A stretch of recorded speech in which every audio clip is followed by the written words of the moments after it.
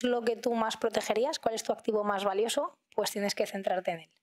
Y pues por supuesto también eh, la puerta de entrada para un atacante, eh, ¿dónde te puede encontrar? ¿Tienes página web? Pues probablemente sea lo primero en lo que busque.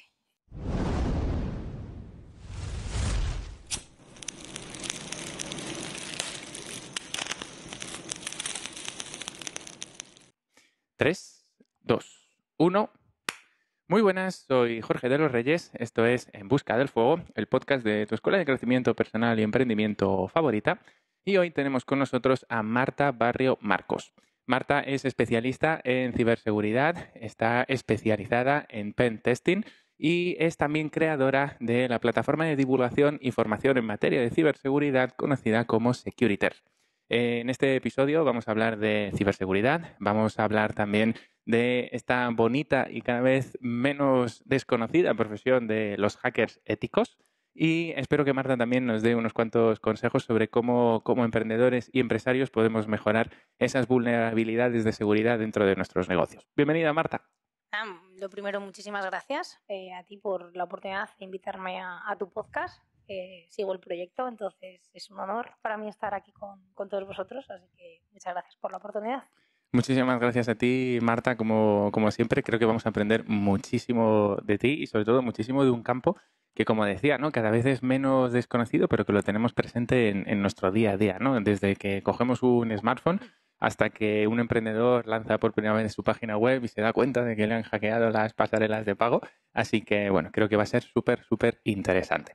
No obstante, aunque vamos a hablar de una materia que a algunos de vosotros y de vosotras quizás os parezca un poco técnica, como siempre, Marta, empezamos los podcasts con la gran pregunta. Marta, especialista en ciberseguridad, ¿cómo se describe? Pues eh, una persona curiosa, precisamente esa faceta de curiosidad es la que me llevó a la ciberseguridad. Y es algo que necesitamos todas las personas que trabajamos en ciberseguridad porque es un campo que está cambiando día a día. Entonces necesitas esa curiosidad para querer seguir aprendiendo eh, precisamente en ese día a día. Entonces mm, diría que curiosa, siempre con ganas de aprender y con ganas de ayudar siempre que esté en mi mano y precisamente a raíz de eso viene un poco el, proyecto de, de y yo me definiría así. Luego tiempo libre siempre con, hobbies y demás, eh, deporte, me gusta leer, un poquito cultivar esa parte también de crecimiento y me quedo ahí. Yo creo que está bien como introducción. Qué bueno, Marta. Eres uno de estos perfiles que a mí me encanta porque no solo eres emprendedora, ¿no? sino que hay algunos que acuñarían el término de intraemprendedora, ¿no? porque eres consultora en materia de ciberseguridad en una empresa multinacional, pero luego tienes tu proyecto de Securiters. Eh, obligada pregunta, eh, ¿cómo te dio por emprender un proyecto teniendo ya eh, lo que algunos considerarían ¿no? un trabajo por cuenta ajena bastante estable y bastante seguro? Pues viene de, de hace ya bastantes años, estamos a lo mejor hace siete años. Eh, la, la oportunidad de crear un curso en una materia en la que yo estaba trabajando en ese momento y bueno, dar a conocer, ¿no? Lo mismo que a mí me hubiese gustado eh, aprender o de la manera de la que me hubiese gustado aprender cuando empezaba, intentar facilitárselo a la gente que estuviese empezando. Y se me presentó la oportunidad, pues un poco por suerte. También hay que buscarla, pero es verdad que por suerte. Y a partir de ese momento eh, creamos ese curso. Eh, yo ahí simplemente soy la profe, no gestiono nada, no, no es mi plataforma ni nada, simplemente soy la autora del curso. El resto está externalizado. A partir de ahí, poco a poco, poco a poco, como que me van llamando para clases en universidades, me van llamando para masterclass o otro tipo de formaciones más personalizadas para empresas. Y, bueno, como que veo que es una pequeña fuente de ingresos, que bueno, que está bien, ¿no? Siempre cobrar un poquito más de vez en cuando. Nada, nada seguro todos los meses, pero bueno, ahí era como que de vez en cuando tenía un extra. Y pues en base a esa curiosidad empiezo a pensar, ¿y si en vez de tenerlo delegado lo gestiono yo? ¿Qué habría que hacer? Bueno, no tengo ni idea lo dejamos un poco para más adelante. Hasta que llegó el momento creando Securiters, que crece bastante en los primeros seis meses, y yo digo, pues para tenerlo en casa de otro, lo tengo en la mía, y ya nos pegamos con, con lo que sea. Y, de ahí nace, ¿no? Eh, los primeros años simplemente eh, trabajaba o, esa parte extra era para otros, y, y ahora ya desde hace prácticamente un año está todo centralizado en Securiters como, como proyecto, que es como el hijo, es mi hijo. Y, entonces, bueno, pues vamos poco a poco haciendo que, crezca poco ¿Y cómo, cómo surgió el nombre de Securitas? ¿De dónde viene? Pues esto es muy gracioso. Eh, viene de la época de pandemia que nos ha dejado un poco trastocados a todos. Eh, yo salía muchísimo a pasear y con muchísimos podcasts de temáticas súper random, eh, total, totalmente random. Y decía, jolín, hay podcasts de ciberseguridad que ya llevan años, pero quería algo como un poco más cercano. bueno, voy a probar con el mundo del podcast y así veo cómo va precisamente quizás eh, no es el podcast nuestra mejor pata del proyecto porque es una de las que va por inercia y, no está tan, tan cuidada como quizás otras, pero por, falta de tiempo. Y empezó como podcast. Eh, y en uno de esos paseos, yo pensando un nombre, eh, al final, la parte millennial, todos, cuando hay un artista, y me voy a ir a Justin Bieber, no porque lo siga, pero la gente que siga a Justin Bieber son los believers. Eh, la gente que no sé qué son los no sé qué acabado en ERS. Y dice, pues eh, seguridad, securiters, ¿no? Y, no es el nombre de un proyecto de una persona, sino que vamos a intentar darle el toque de comunidad como parte de yo soy del Team Securiters. De hecho, este, este nombrecito del Team Securiters se está haciendo un poco, se está extendiendo estos últimos, estas últimas semanas y la gente que colabora con nosotros automáticamente y la gente que nos sigue y demás, para nosotros son parte del Team Securiters. Eh, es verdad que somos dos caras visibles a día de hoy, pero todo lo que hay detrás y lo que se está consiguiendo es gracias a toda esa gente. Fue una manera de intentar involucrar a los posibles seguidores en ese momento que eran nulos dentro del proyecto. ¿no? Siempre súper transparentes, eh, súper claros eh, desde el primer momento y bueno, haciéndoles sentir parte de la comunidad, que es gracias a ellos ¿no? lo que se está creando. Dirías entonces que Securities aproximadamente lleva de recorrido unos tres años, ¿no? Desde la pandemia o se lleva macerando bastante se lleva macerando. Ojalá lo hubiese creado en el momento en el que se me ocurrió, porque era 2020 desde casa y ahí no tenía nombre ni mucho menos, pero era un buen momento para, para haberlo empezado. Claro. Pero que va, empieza, mm, empieza en 2021, o sea, va a ser dos años. Te diré, el tema de las redes sociales, yo eh, esto se me ocurre en abril y lo sé porque tú ves que todas las redes sociales las di de alta en abril. Hasta julio no sale el primer podcast que grabo estando de vacaciones diciendo, mira, o lo haces ahora o esto ya es procrastinar por procrastinar porque lo tienes en la cabeza. Entonces empieza el podcast y en septiembre empezamos con Twitch. Vamos a ver cómo va esta plataforma. Imagínate si hubiésemos empezado en Twitch en 2020.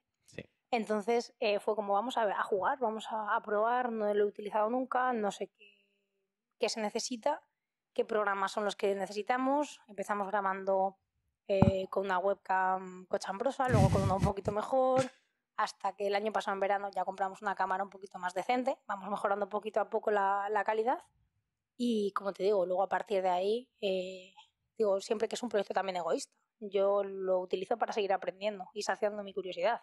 Entonces, eh, invitamos a gente para hacer entrevistas a las que admiramos.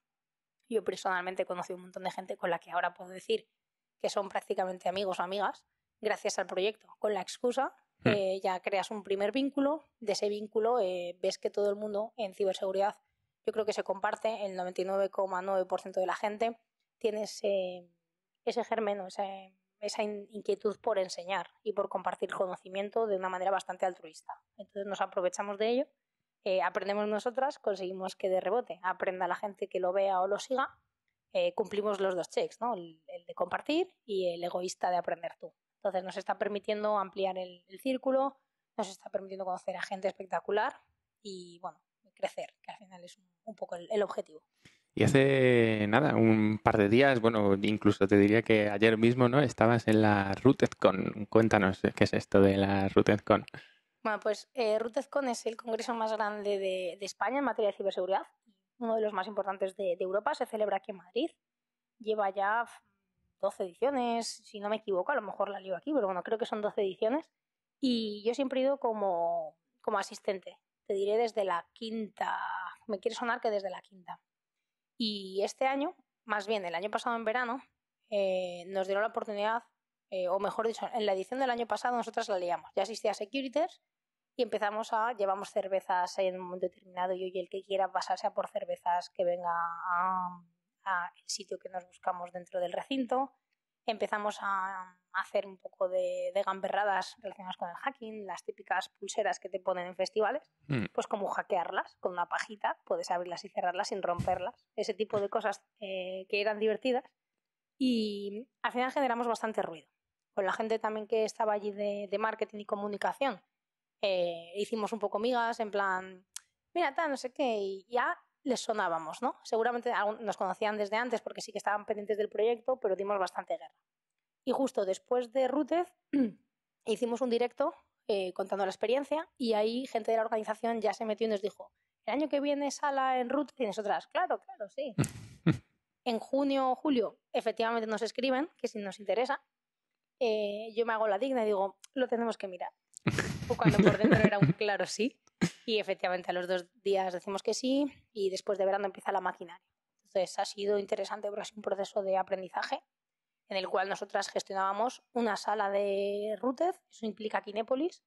Eh, la sala enorme de Kinépolis, esa es de Rutez, pues hay otras dos salas eh, anexas que son de 420 y pico personas, creo que la nuestra eran 422, que nosotras nos encargamos de gestionarla. En nuestro caso la tuvimos durante el día, durante el viernes, y nosotros nos hemos encargado de patrocinadores, de ponentes, de la organización interna, voluntarios, etc.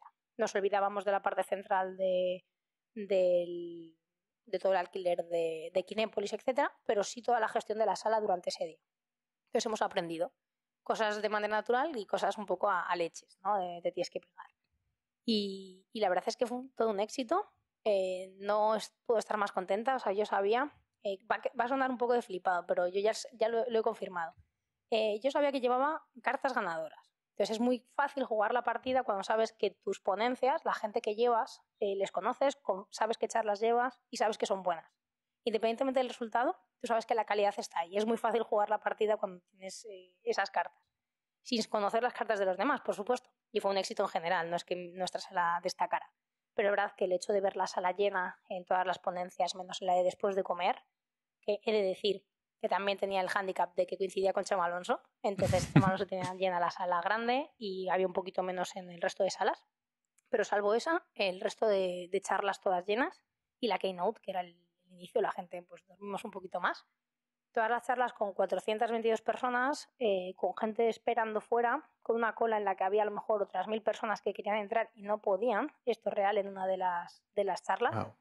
Y a veces eh, dejando entrar a un poquito de gente que se pusiera en el pasillo para poderlo ver, porque había tanta gente esperando que era una lucha, ¿no? Entre no se puede por seguridad física y otra de me gustaría que lo escuchasen me cuenta más gente Entonces, eh, un éxito absoluto, estamos hiper contentas con el resultado. Todo el feedback que nos ha llegado de fuera, eh, brutal. Y, lo, hemos dicho alguna vez, luego hablando allí en, a posteriori entre cañas, decía, es que tenía repoca con un repoker llevo mano ganadora de, de, largo, entonces sabía, sabía que iba a ser un, un, éxito y conseguir no estar nerviosa en ningún momento, o sea, ni en la keynote ni nada, por la seguridad que te daba eh, el resto de cosas. Estabas en alerta, estabas pendiente de muchas cosas, pero no nerviosa, o sea, lo he disfrutado estando desde dentro, que hay muchas veces que en otras veces me ha, me ha sucedido a mí cuando he sido ponente, eh, vas tan nerviosa que cuando pasa, dices que no me ha dado tiempo a, a, a disfrutarlo y a saborearlo. Y en este caso creo que también podemos decir que, nos lo hemos gozado, desde el minuto uno al final. Qué bueno, Marta. Bueno, lo primero, enhorabuena. Eh, desde luego, los que lo hemos podido seguir por redes, yo he alucinado y digo, madre mía, cuantísima gente. Mm, ¿Qué aprendizajes has sacado desde el RootedCon y mm, qué consejos nos podrías dar también para una persona eh, de cualquier ámbito de emprendimiento o ámbito técnico y que quisiera también pues eh, poder organizar algo frente a una audiencia tan interesante? Pues es verdad que, claro, llevamos la ventaja ya del nombre y que íbamos bajo el paraguas de una conferencia ya estabilizada en España, más, más que de, largo, ¿no? Pero hemos aprendido a, en esa libertad que nos han dado, eh, no tener miedo a preguntar, que a veces era, no sé si ya lo han preguntado ya, si lo voy a repetir, voy a intentar no preguntarlo y al final te ralentiza porque vas a terminar preguntándolo porque no lo sabes. Quitarte esa vergüenza. Y en nuestro caso, el stopper principal y lo único que nos ha costado es el tema de los patrocinadores. Uh -huh. Hay que perder la vergüenza. Hemos notado, eso sí, que al ser un proyecto que no es una empresa, a día de hoy Security solamente es una marca, eh, por detrás, pues bueno, yo sí estoy como autónoma y entonces todo lo que se mueva, el tema del curso que tenemos, eh, al final facturo yo como autónoma, que de, a día de hoy es, es, mi curso y no hay nada de, de terceras personas. Eh, y bueno, pues la parte de Twitch, si hay algún ingreso, etcétera, todo se centraliza a través de, de mí. Y entonces el problema era presentar a las empresas eh, que patrocinen una sala dentro de un evento mucho más grande en el que solo te patrocinen a ti y no eres nadie. Porque para ellos, sobre todo para la capa, pues en este caso marketing, recursos humanos, la capa directiva, que conociesen securities era muy difícil.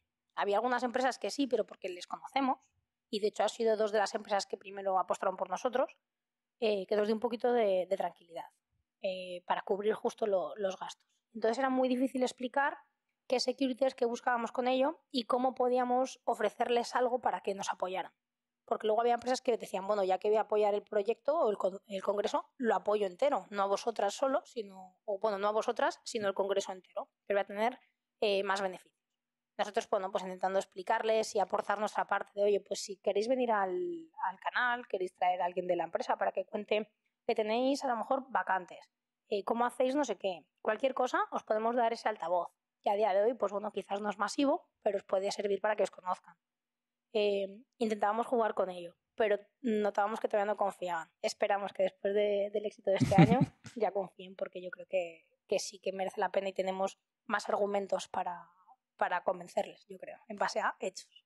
Me parece genial esto, ¿no? De tú como persona que busca patrocinadores eh, no tengas miedo a preguntar ni a hacerte querer, pero oye, hagamos un llamamiento aquí también, ¿no? A eh, cualquier empresa, pues que también quiera patrocinar, no tengáis miedo, ¿no? A, ponernos en contacto porque es alucinante, ¿no? Que, en, un, en un proyecto, en un periodo de tiempo tan cortito, eh, ya estés, ¿no? Con tu proyecto delante de tantísima gente y que no estén pegándose por vosotros los patrocinadores. Así que bueno, dejamos por ahí los datos de Marta, los tendréis en la descripción porque, ojo, para cualquier empresa de ámbito tecnológico es una oportunidad increíble.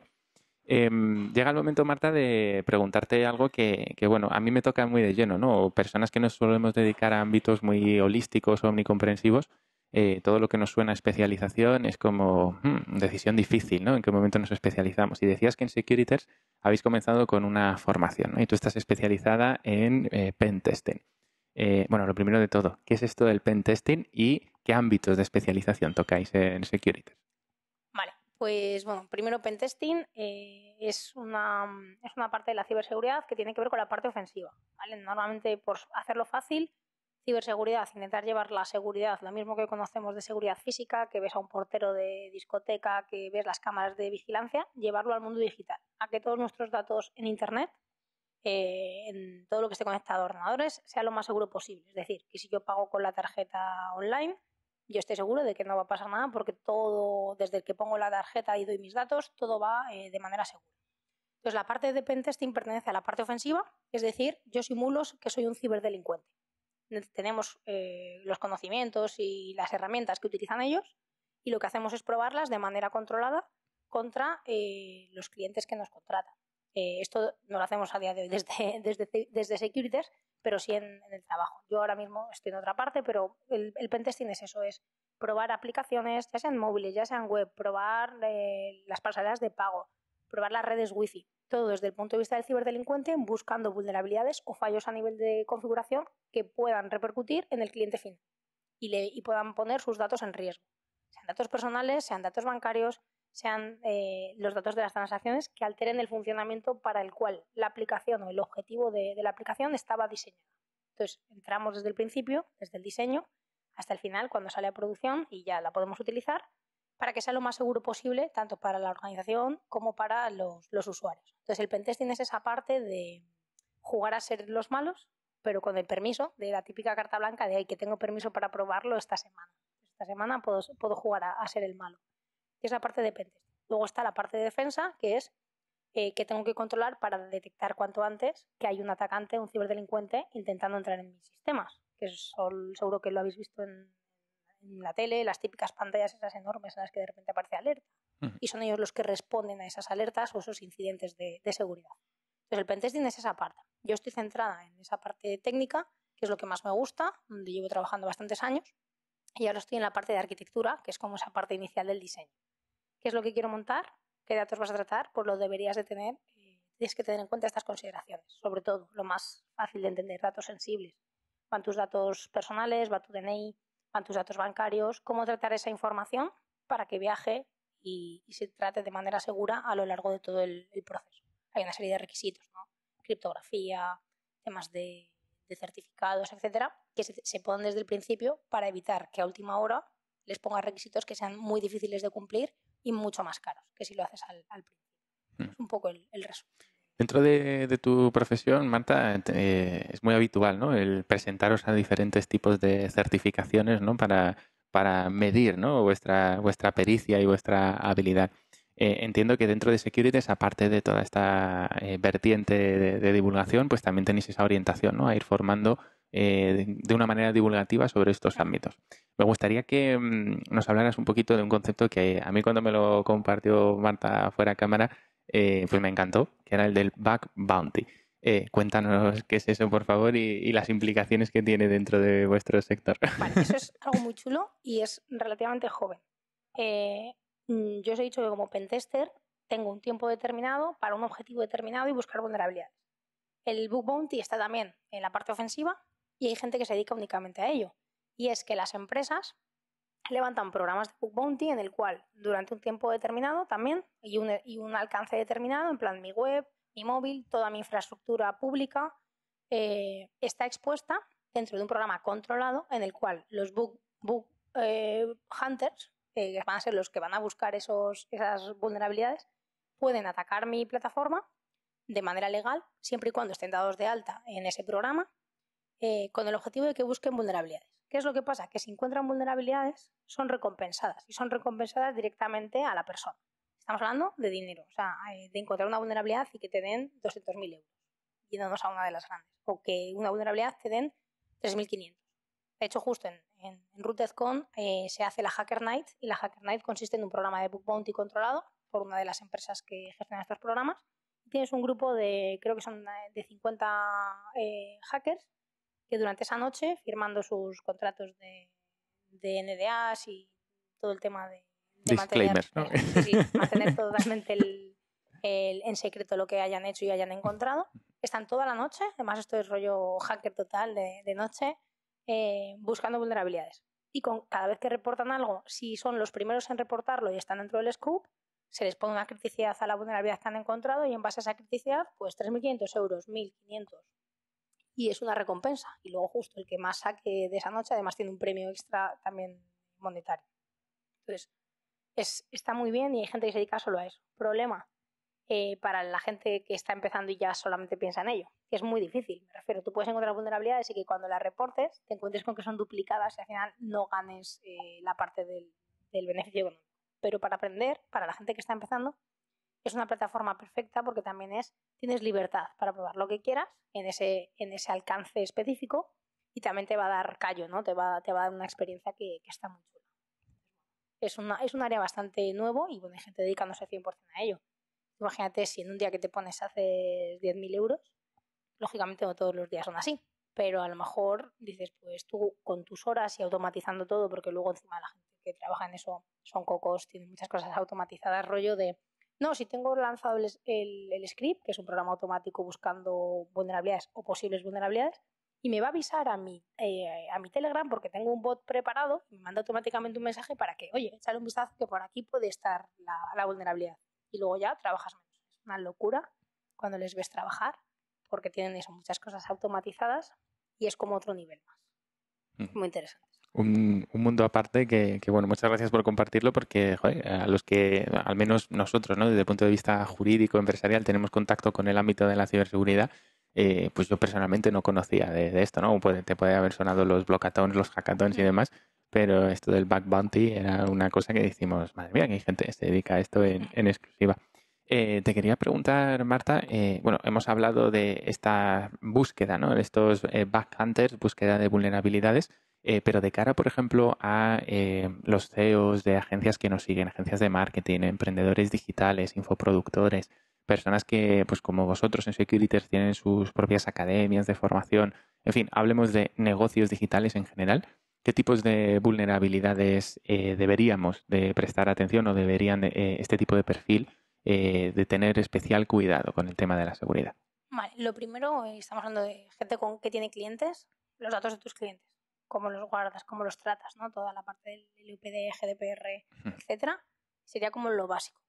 Eh, es toda esa parte de compliance, tienes que tenerla con mucho cuidado. Conozco empresas pequeñitas, conozco autónomos que tienen una base de datos en claro de clientes con todos los datos. Estamos hablando de, datos personales, de datos bancarios, Y es una locura y es una de, mm, sabes que eso no debería de estar así. Entonces esa quizás sería el primer punto de ojo, cuidado.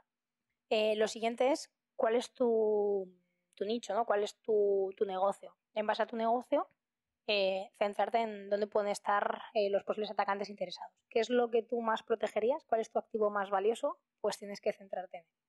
Y pues por supuesto también la puerta de entrada para un atacante, ¿dónde te puede encontrar? ¿Tienes página web? Pues probablemente sea lo primero en lo que busque.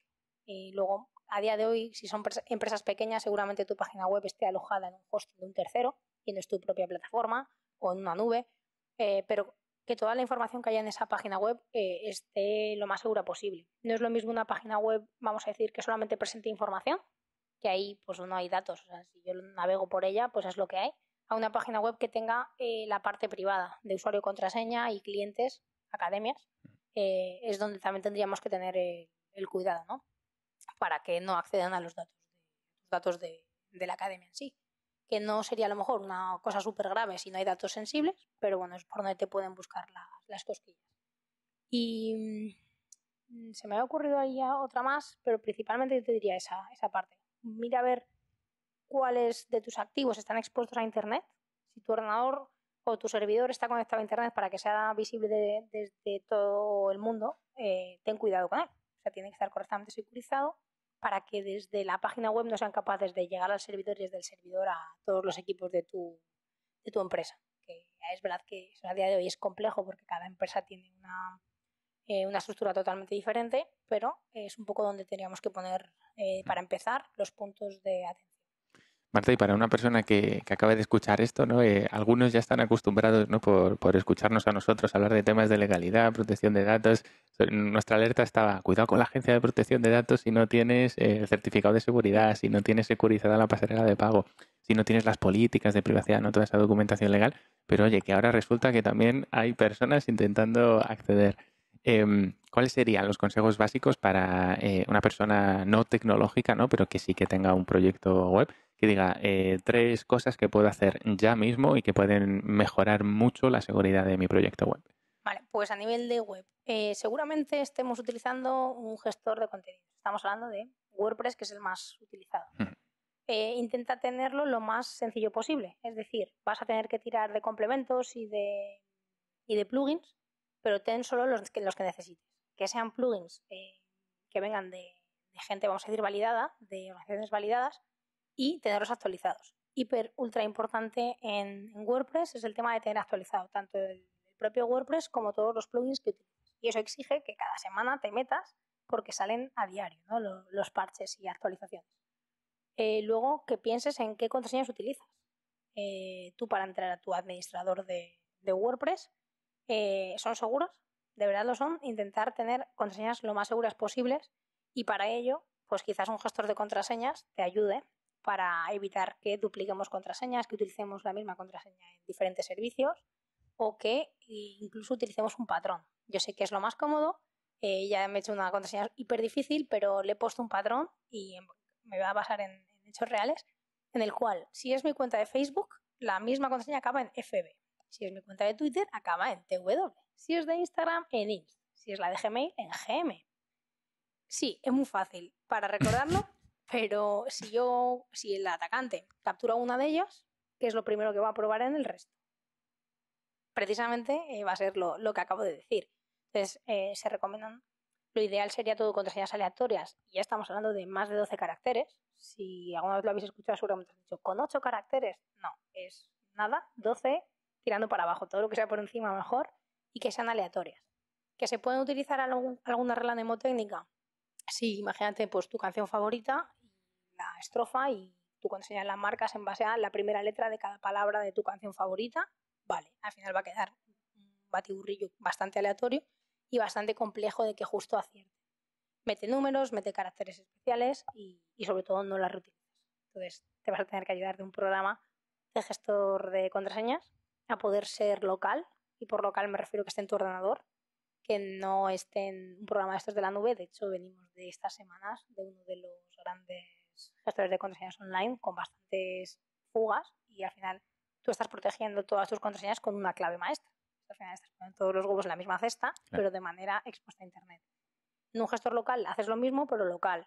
Ya tengo que tener, o el ciberdelincuente tiene que tener acceso a tu ordenador para coger la base de datos y craquear tu contraseña maestra. Es verdad que si lo consiguen, pues ya tienen acceso a todas, pero es más difícil que consigan acceder a tu ordenador a que el día de mañana eh, la empresa que utilizas online quiebre, eh, sufra un ataque y se filtren todos tus datos con todas tus contraseñas. Entonces, bueno, sería esa también otro, otra de las de, los consejos, ¿no? Lo del tema de mejorar las contraseñas, que creo que seguimos pecando. Hmm. Pecando en todos los ámbitos. Y Marta, ¿qué gestor local de contraseñas o gestor de contraseñas en general nos recomendarías? Eh, yo utilizo en local uno que se llama KeePass, K-E-E-Pass, con dos S, y importante también tenerlo actualizado y estar al tanto, porque de vez, de vez en cuando también salen vulnerabilidades que son más difíciles de explotar porque necesitan el acceso local, pero también, también aparecen.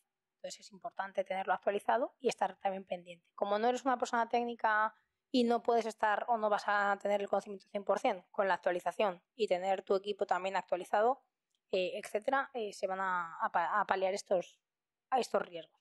Importante, no solamente estamos hablando de actualizar WordPress, estamos hablando de eh, dispositivos móviles, eh, ordenadores, actualizar sistemas operativos, aplicaciones, todo. Esto de, uy, hay una actualización de, iPhone, Buah, ya, ya mañana no, pasa o no, al otro. Y luego de repente estás a lo mejor un mes sin actualizarla. Cuando hay actualización es porque hay agujero encontrado y están aplicando parches para intentar solucionarlo. Yo recomiendo actualizarlo eh, lo antes posible.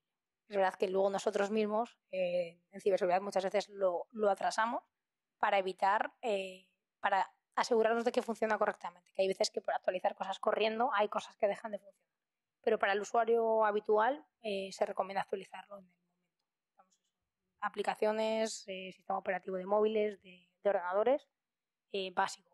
Sea, esas actualizaciones están normalmente para sacar parches que, que, os van a ayudar a, que nos van a ayudar a protegernos a nosotros y a nuestros dispositivos y datos.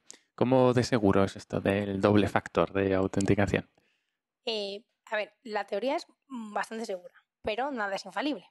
Me refiero, el hecho de que tú tengas un doble factor de autenticación va a hacer que si tus contraseñas se filtran, por la razón que sea, aunque no esté en tu mano y es que haya un leak de, por ejemplo, LinkedIn, que ha habido varios a lo largo del tiempo, y está tu contraseña filtrada, eh, pues bueno, si alguien intenta acceder, a ti te va a llegar eh, o, les van a solicitar un código o a ti te va a llegar un SMS. No recomiendo usar la del doble factor por SMS, que sea todo en aplicaciones de autenticación, la típica de Google Authenticator o la de Microsoft Authenticator. Hay alguna más, pero bueno, esas dos son de grandes compañías y no, vamos a decir que nos podremos fiar. Eh, y tienen que poner un código que no tienen. Y a ti a lo mejor te llega un mensaje de LinkedIn diciendo han intentado acceder a tu cuenta desde la Conchinchina. No es habitual en tu navegación. Eh, ha sido tú, pero no han conseguido acceder porque les han pedido otra cosa.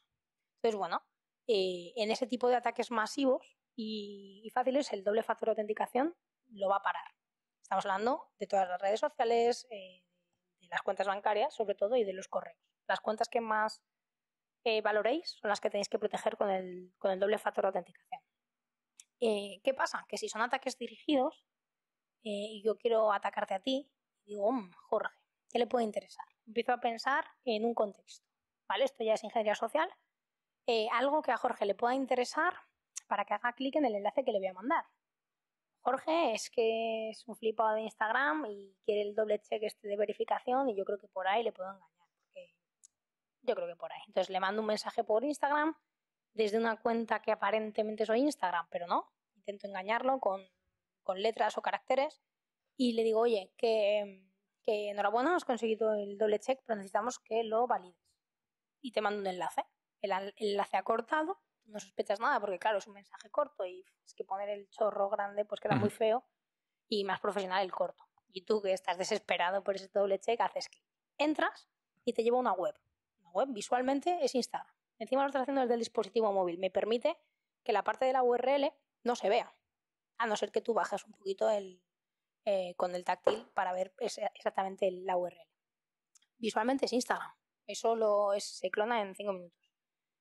Usuario contraseña, la metes. Ah, tú eres un chico listo, tienes el doble factor de autenticación, te solicita el doble factor de autenticación. Te vas a tu aplicación, metes tu doble factor, te vas a la web, lo metes, es que se queda cargando y de repente te manda de nuevo otra vez a Instagram. Y tú, ay, qué raro, me habrá funcionado. No sé, ahora lo repito. Ya da igual que lo repitas o no. Ese era un mensaje de phishing que se conocen a través de, bueno, en este caso podría ser smishing si es SMS, ha sido a través de, de Instagram, pues bueno, un phishing a través de, de Instagram directo y mientras el atacante ha capturado tu usuario, tu contraseña, tu 2FA, el cual lo ha mandado directamente ahora sí a Instagram, que es el que te lo ha solicitado, ha capturado tu, tu sesión y en dos minutos te cambia el, correo, te cambia el teléfono, te cambia la contraseña, te quita el 2FA y eh, tu cuenta ha sido robada. Esto es muy... Está al, día, seguro que todos conocéis eh, más de un influencer que le han robado la cuenta. Y normalmente es a través de esto. Entonces, no es infalible, pero porque también se aprovecha del desconocimiento de las personas. ¿no? Nos fiamos de todo y cuando te regalan algo, sospecha. Cuando algo no cuadra, de primera sospecha y analiza. Y en este caso, si Instagram no te va a mandar a ti un directo, no es tan importante para ellos, es un número más. Eh, si te van a escribir, va a ser desde su cuenta oficial. Y en las cuentas oficiales no te van a pedir que des tus datos. Es como los bancos. Nunca un banco te va a pedir que metas tu PIN, que metas tu clave, que metas nada a través de un correo electrónico. Si necesitan algo y de verdad es urgente, probablemente te llamen y te digan que vayas a oficina. Todo lo que te pidan online, no, no cuadra. Ante la duda sospecha y llama después a tu propio banco eh, para decirle, oye, me han llamado para esto, me ha llegado este correo. ¿Es vuestro?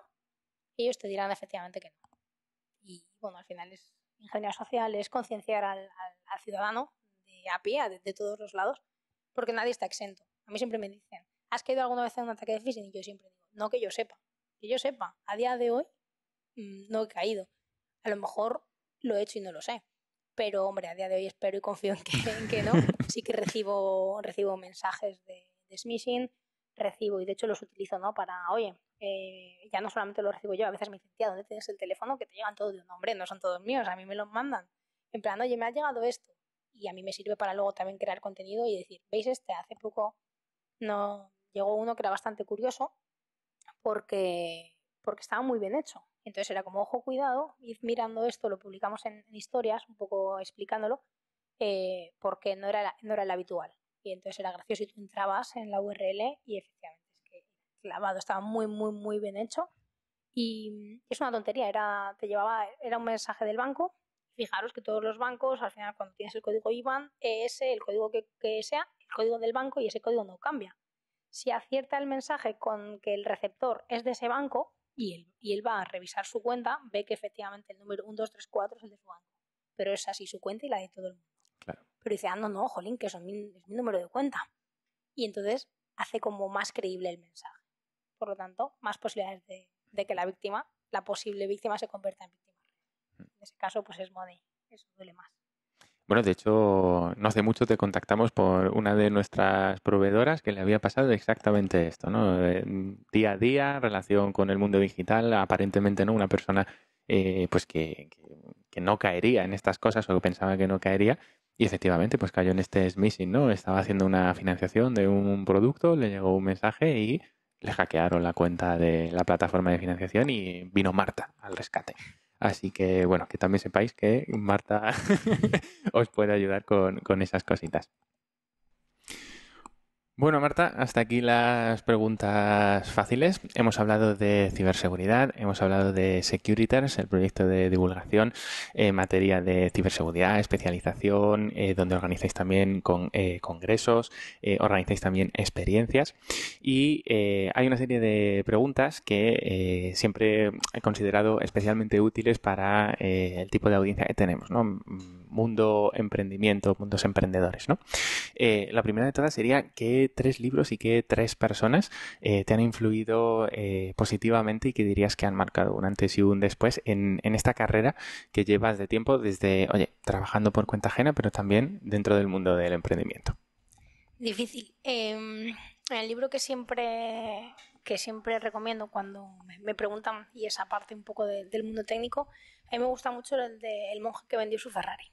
Eh, clásico, eh, pero me parece que sigue siendo sigue siendo súper válido y es el libro que de hecho he recomendado en un montón de, entrevistas. Luego hay un, hay un libro, esto es un mundo técnico, cuando yo empecé, hay una, editorial que es Zero World, centrada en libros técnicos, Y yo ahí eh, cogí el libro como Pentesting con, con Cali, creo que es el, primero que, cogí, y fue como, oye, que esto puedo, puedo hacerlo, ¿no? Puedo replicarlo y me pareció eh, como el que me introdujo un poco ya en, este mundillo. Y un tercer libro, eh, aquí ocio total, no te voy a recomendar no te voy a recomendar la, la saga de Harry Potter, eso me ha marcado y, en, en, general, ¿no? a mí me ha gustado leer siempre, desde, desde pequeñita. yo tengo un montón de compañeros que no cogían el libro ni vamos, ni con un palo y, y a mí siempre, a mí, eso de que me regalaran libros por mi cumpleaños era un regalo genial. Cuando hay muchos, muchos niños que dicen, un libro. Entonces yo he leído siempre, también quizás tiene que ver eh, el hecho de vivir en un pueblo muy pequeño, con muy poca gente y nadie de mi edad, para el hecho de tener que entretenerte con, con lo que pudieras. Y entonces he leído mucho. Entonces me voy a quedar con esos tres. ¿Y qué, qué, cualidad tienen los libros de Harry Potter? ¿Qué representa para Marta que le llama especialmente la atención? Eh, bueno, es un mundo, un mundo nuevo de, fantasía en el que todo es posible y quizás también la esperanza, ¿no? De, en situaciones muy adversas siempre hay, en este caso, una luz, hay alguna cosa que, que marca la diferencia y el hecho de que en ese momento, pues al final son adolescentes, que es en la época en la que yo lo leí, pues te da también como esa, esa ilusión, ¿no? De que en un momento determinado, no, lógicamente no en el mundo mágico, pero en el mundo real, tú puedes tener la, la clave para solucionar algo eh, y bueno, ayudar a, a, lo que sea. Entonces, no sé, quizás sería esa la parte. ¿Y esas tres personas que han sido trascendentales en tu camino? Pues te diré, eh, Pablo González, como como persona a la que admiro en el mundo ciber, eh, que ha sido un poco, sin, seguramente sin que lo sepan, un poco mi mentor o un poco la persona en la que me veía reflejado, de la cual quería aprender y, me ayudó mucho en, el comienzo y bueno, ya a día de hoy. Eh, luego, por ejemplo, te voy a hablar más tema mm, de crecimiento. Lucía, Lucía Wesson. tengo la suerte de poder decir que, es amiga eh, que descubrí por redes sociales y, que bueno, me, me, gusta mucho el, mensaje que, que comparte y, me sirve. O sea que tengo ahí esa suerte, que fíjate, los dos que te he dicho a día de hoy son, son amigos. Y un tercero, una tercera persona, eh, eh, va, a hacer, va a ser un grupo, ¿vale? gracias a Securities hemos hecho un grupo que va creciendo día a día que es de chicas que se dedican a ciberseguridad. Así que me quedo con las chicas del, de los hack camps, todas, de la primera a la última, eh, porque comparten sin esperar nada a cambio desde el minuto cero, confían eh, en mí en primera persona, porque eh, les digo, no os preocupéis, que yo os aviso, no se preocupan. hay que pagar esto o hay que hacer este, este bizum, lo hacen sin pensar. no os digo todavía dónde vamos, les da igual confianza ciega. Y eso ha permitido crear una, relación de confianza, eh, un grupo hiper cercano, eh, que creo que nos está ayudando a, crecer. Ellas, me ellas muchas veces me dan las gracias y no saben que, es al revés. Las gracias las doy yo por lo que me están permitiendo experimentar y, y, vivir con ellas y porque las digo que se disfracen de monjes para hacer una keynote en una sala de Kinépolis y allí me aparecen disfrazadas eh, de la primera a la última deseando participar. O sea, es espectacular esa, esa relación. Y aunque es muy reciente, eh, es una de las cosas que me motiva ¿no? en, en cuanto al proyecto a seguir en el, en el día a día. Marta, si te encontraras la lámpara de Aladino con todo permitido y sin ninguna consecuencia negativa, ¿qué tres deseos pedirías ahora mismo para ti? Venga, el primero, que no fuese necesario dormir. Ese sería la leche. Ya, con eso se más tiempo. Tal. Cuando no es necesario dormir, yo gano 8 horas al día y hacemos muchas más cosas. Em, el segundo, qué difícil, o sea, que esté todo permitido. El segundo me encantaría hacer así y estar en el sitio del mundo en el que, me, en el que quisiera. O sea, ahora me apetece playa, voy a la playa, disfruto de la playa, pero yo luego vuelvo a casa. Yo soy muy, muy casera al final donde mejor funciono al final es, en casa y con, los míos cerca. Pero es verdad que a lo mejor Tailandia ahora para un par de días me viene bien. Ah, dos días de playa. Eh, entonces sería no necesitar dormir, el poder viajar a donde me diese la gana con un chasquido de dedos. Y el tercero, eh, qué difícil, ¿sabes? Sin tirarme a. Que, que, que en Securities y poder hacer todo lo que quisiera. Eh, pues quizás te diría el, el que no es a corto plazo y tampoco lo quiero a día de hoy para allá, pero que en un futuro cercano poder vivir de, este proyecto eh, y dedicarle el 100% de mi energía. A día de hoy, cuando llego a dedicarle al proyecto son las 5 y media de la tarde o 6, después de todo el día trabajado, y es un trabajo que hay días que es bastante mental. Entonces hay veces que cuando llego, si son cosas de inercia, bien, pero cuando hay que pensar o planificar algo, llego derrotada. Entonces me cuesta mucho, me pongo, pero no soy igual de deficiente, no estoy igual de despierta y no son las mismas ideas que cuando estás descansado y lo coges un día por la mañana. Entonces me quedaría con esos tres. Marta, si volvieras a la niña de 10 años que fuiste y dices, hola Marta, soy tú de mayor que vengo del futuro para decirte esto, ¿qué consejo le darías? Pues mira, ese le tengo claro. Y es el, dejar la vergüenza a un lado, porque la gente dice que vas a ser tú vergonzosa. Eh, lo soy. Eh, me cuesta mucho el, primero. Es verdad que luego parece que nos conocemos de toda la vida, pero el, primer paso me cuesta un montón. Diría que no coges el miedo a preguntar, por tener la sensación de que ella ya eh, lo debería de saber. Hay veces que como no, es que esto lo debería saber, ¿cómo voy a preguntarlo? Me he callado. Eh, ahora estoy intentando dejar de hacerlo, pero todavía hay veces que, lo mantienes, porque lo, tienes arraigado. Entonces, perder esa vergüenza y el decir, no, mira, es que yo no lo sé, me lo resuelves y acabamos antes, que no llevarme la tarea ya apuntada de revísate esto porque no lo sabes y te ha dado vergüenza preguntarlo, que me ha pasado más de una ocasión y que, y que todo va a salir bien, que todo va bien, que si quiere conseguir algo, que no se preocupe, que antes o después, de momento a día de hoy, lo, lo va a conseguir. Marta, ¿a quién te gustaría ver próximamente en el podcast de En Busca del Fuego? A Lucía. A Lucía. A Lucía. Bueno, Lucía, invitación virtual. Y solo nos queda una pregunta, Marta. Si cualquier persona que haya escuchado este episodio, haya escuchado sobre todo lo que hacéis en Securiters, las charlas de divulgación, eh, o quiere informarse también sobre, o bien cómo formarse con vosotros, eh, ¿dónde os puede localizar? ¿Tenéis página web, redes sociales? Sí, eh, página web securiters.com, al correo info arroba o cualquier red social. estamos hablando de Twitter, Instagram principalmente, que que al final, o Twitch, nos podéis seguir y suscribiros al canal de, Twitch. Eh, entonces, bueno, mm, en cualquier red social, al final por detrás eh, estoy yo y, os contesto lo, más rápido posible, que suele ser bastante rápido. Eh, y nada, cualquier cosa que, queráis saber sobre el proyecto, cualquier posible colaboración que se os pueda ocurrir o idea, estamos hiper abierta a, escucharlo y, a poder sacar algo que pueda ser ese win-win-to-win win to win que, nos aporte a todos. Fantástico, Marta. Pues muchísimas gracias y nos vemos en el próximo episodio. No os olvidéis de suscribiros, seguir a Marta en Twitch. Os vamos a dejar toda su información en la descripción. Chao, chao.